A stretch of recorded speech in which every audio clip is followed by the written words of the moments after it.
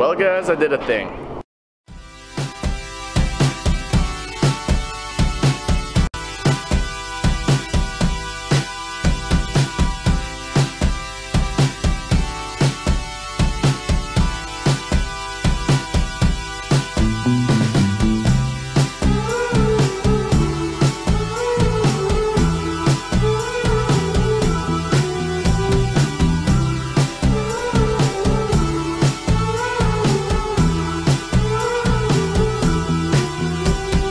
Well guys, here we have the 240SX. Andy's here. Hey, what's up, guys? Started cleaning it out already, but um, you look back here.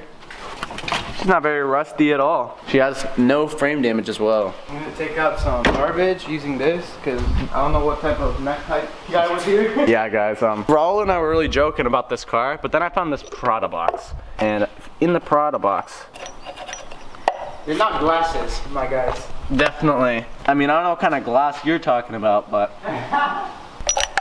just uh, shut that. So this is the new car. I'm so tired right now because I've just had a long ass day with struggling to figure out what I'm doing with this car. But yeah, guys, so this car's just filled with a bunch of random stuff. Like we got the trash bag over there. I don't know what these fuel lines are from. I found General Motors wiring in here. I think this might be this car. I don't think so though. It's There's got a the lot of that goes on parts it. over here. More intercooler piping.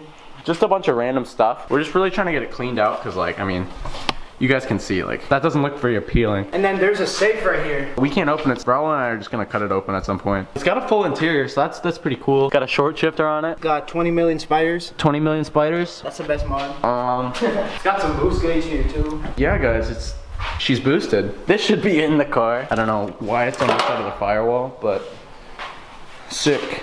So I never addressed with you guys why I stopped working on the other car, but basically it's been in a front end collision and it was a really small collision. It just like a part of the core support was bent up, but it didn't seem like it was really affecting the car. But then I noticed that there was a small like, there was like a small ripple in the rail where the subframe bolts up.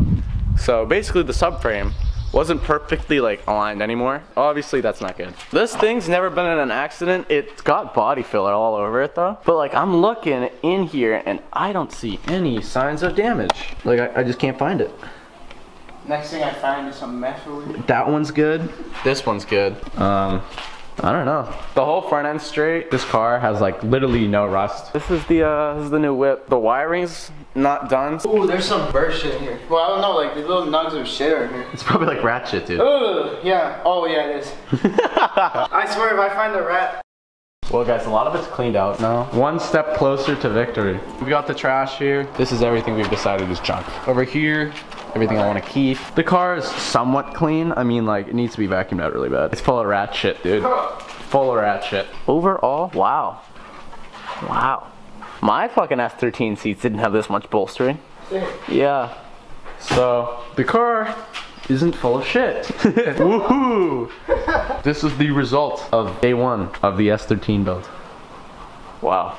So much junk in this car, guys. So much shit to go through. Not looking forward to it, but you gotta, you gotta do. yes, sir. It'll be worth it, dude, because at the end of the day, I'm gonna have a good 240. That is boosting.